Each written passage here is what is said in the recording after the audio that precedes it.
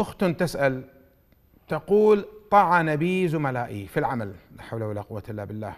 طعنوا بشرفي وأنا بريئة كبراءة عائشة عليه السلام. حتى صرت أتمنى الموت ماذا أفعل؟ إخوان مسألة الطعن الاتهام دون دليل كبيرة من أعظم الكبائر ومن كبائر الحدود. ولها ميزة أخروية وميزة دنيوية. ميزات مخيفة. الميزة الأخروية أنها تحبط العمل تماما تمسح كل أعمالك الحسنة. وليس لسنة وسنتين. يقول النبي صلى الله عليه وسلم قذف محصنة يهدم عمل مئة عام. لو عندك لو عمرك مئة سنة وكل هاي المئة سنة أعمال صالحة تهجد وصيام وقيام وجهاد وتصدق كلها تحبط بقذف محصنة واحدة. بأن تتهم امرأة دون دليل. والله شنو فلان يقول علان يقول؟ شنو القرآن هم حتى تحتج بكلامهم؟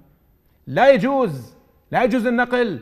بل بعض شراح الحديث قالوا هذا ينطبق حتى على السباب والشتيمة.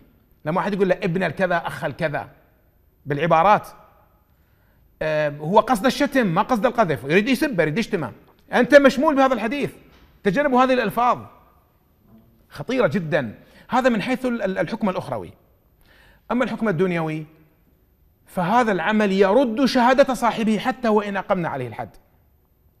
الله سبحانه وتعالى لما ذكر الذين المحسنات الغافلات قال فاجلدوهم ثمانين جلدة ولا تقبلوا لهم شهادة أبدا. يجلد ثمانين جلدة وترد شهادته. ما تقبل الشهادة.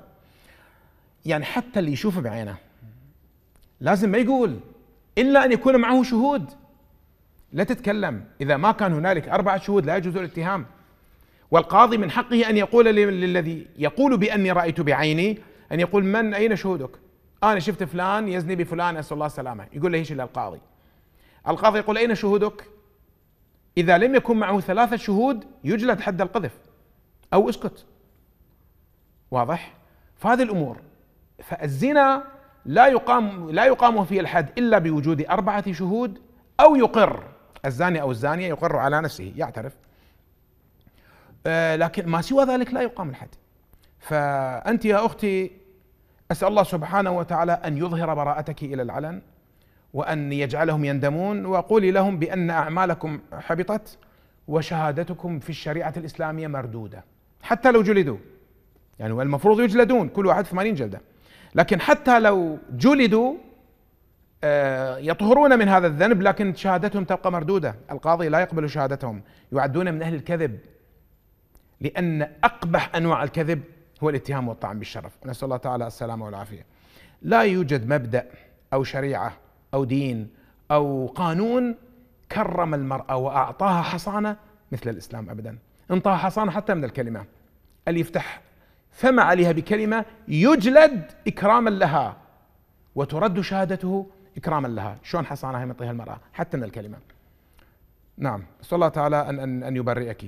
تقوا الله يا ناس. خليتوها تتمنى الموت لهالبنت. لا حول ولا قوة إلا بالله.